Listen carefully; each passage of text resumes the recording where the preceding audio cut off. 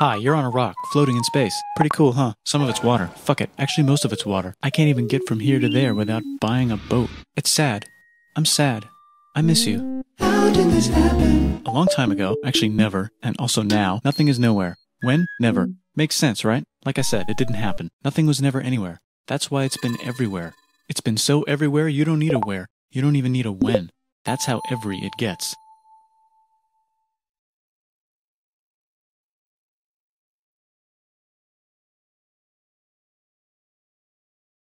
Forget this. I want to be something, go somewhere, do something. I want things to change. I want to invent time and space. And I know it's possible because everything is here and it probably already happened. I just don't know when to start.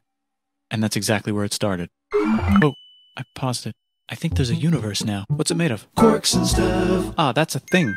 In a place. Don't like it? Try a new place. At a different time. Try to stick together because the world is going to get bigger and emptier. But it's not empty yet. It's still very full and about a jillion degrees. Great news, the quarks are now happily married in groups of three, called a proton or a neutron. And there's something else flying around too that wants to join in but can't because it's still too. Great news, the protons and neutrons are now happily married to each other. Some of them even doubled up. Great news, the electrons have now joined in. Congratulations, the world is now a bunch of gas in space. But it's getting closer together. And it's getting closer together. And it's getting closer together. It's a star. New shit just got made. Some stars burn out and die. Bigger stars burn out and die with passion and make some brand new, way crazier shit. Space dust. Which allows newer, more interesting stars to be made and then die and explode into. Even crazier space dust. So now stars have cool stuff around them, like rocks, ice, and funny clouds, which can make some very interesting things. Like this ball of flaming rocks, for example. Holy shit, we just got hit with another ball of flaming rocks, and it kind of made a mess, which is Now. Weather update. It's raining rocks from outer space. Weather update. Those rocks might have had water inside them and now there's hot steam in the sky. Weather update. Cooler temperatures today and the floor is no longer lava. Weather update. It's raining.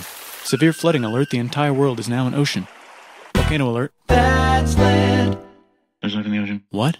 Something's alive in the ocean. Oh, cool, like a plant or an animal? No, a microscopic speck. It lives at the bottom of the ocean and eats chemical soup, which is being served hot and fresh, made from gnarly space ingredients left over from when it was raining rocks or whatever. Oh, yeah, and it can do that. It has secret instructions written inside itself telling it how to build another one of itself. So that's pretty nifty, I would say. Tired of living at the bottom of the ocean? Now you can eat sunlight. Using a revolutionary technique, you can convert sunlight into food. Taste the sun. Side effect now there's oxygen everywhere and the sky's blue. Then the earth might have been a snowball for a while, maybe even a couple of times. It's a sponge, it's a plant, it's a worm, and some other types of weird, strange water bugs and strange fish. It's the Cambrian explosion. Wow, that's animals and stuff. But we're still in the ocean. Hey, can we go on land? No. Why? The sun is a deadly laser. Oh, okay. Not anymore, there's a blanket. Now the animals can go on land. Come on, animals, let's go on land. Nope, can't walk yet. And there's no food yet, so I don't care. Okay, will you learn to walk if there's plants up here? Maybe, said some bugs. And fish. okay, so I can go on land, but I have to go back in the water to have. Have babies. Learn to use an egg. I was already doing that. Use a stronger egg. Put water in it. Have a baby on land in an egg. Water is in the egg. Baby in the egg, in the water, in the egg. Works for me. Bye bye, ocean. And now everything's huge, including bugs. Want to see a map of the land? Sure. Oh fuck, now everything's dead. Just kidding, here are the survivors. Keep your eye on this one because it's about to become the dinosaurs. Here's another map of the land. Yeah, it broke apart, don't worry about it, it does that all the time. Here comes a meteor. And the dinosaurs are gone. It's mammal time, here come the mammals. Look at those breasts. Now they're gonna dominate the world, and one of them just learned how to grab stuff. And walk. No, like, walk like that. And grab stuff at the same time. And bang rocks together to make pointed rocks. Ouch. And set things on fire. Youch. And make crazy sounds with their voice. Which can mean different things. That's a human person. And now they're everywhere. Almost. Ice Age. What? You can walk over here? Cool. Not anymore. Well, I guess we're stuck here now. Let's review. There's people on the planet. And they're chasing their food.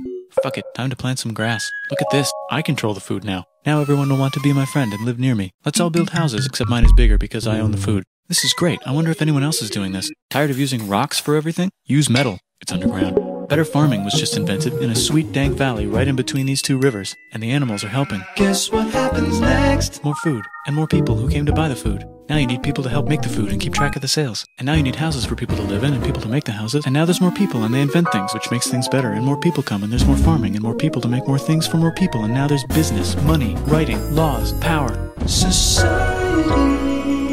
Coming soon to a dank river valley near you. Meanwhile, out in the middle of nowhere, the horse is probably being tamed. Why is all my metal so lame and lumpy? Tired of using lame, sad metal? Introducing Bronze. made with special ingredient tin from the far lands of Tinland.